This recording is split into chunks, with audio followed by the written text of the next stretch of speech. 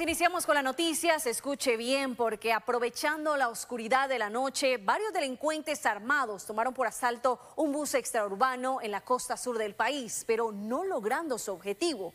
Desencadenaron un tiroteo que dejó muertos y varios heridos.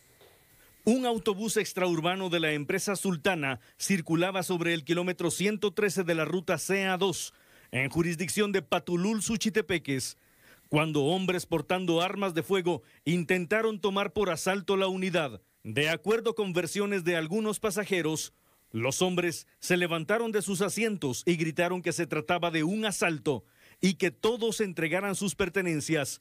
Pero cuando los delincuentes se disponían a despojar de sus pertenencias a los pasajeros, otro hombre sacó su pistola y enfrentó a los asaltantes para defender a los pasajeros y evitar el asalto. La acción del pasajero propició un intercambio de disparos con los asaltantes, lo que provocó segundos de terror dentro del autobús. Al escuchar las detonaciones, el chofer detuvo la marcha a la orilla de la carretera en el cruce hacia Cocales. El momento fue aprovechado por los delincuentes para bajar de la unidad y escapar del lugar. En tanto, el conductor del autobús se quedó en el sitio a la espera de las fuerzas de seguridad y cuerpos de socorro. Al llegar unidades de bomberos municipales departamentales, encontraron a dos hombres fallecidos dentro del autobús. Uno era el pasajero que evitó el asalto y el otro un supuesto delincuente.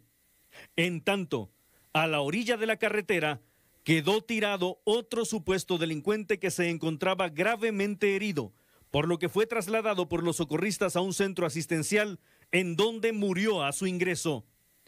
Debido al intercambio de disparos, otros tres pasajeros resultaron heridos de bala.